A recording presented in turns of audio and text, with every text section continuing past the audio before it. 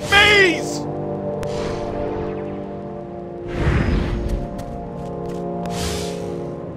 Oh, man. I'm never gonna finish my dissertation on the workers' means of production help over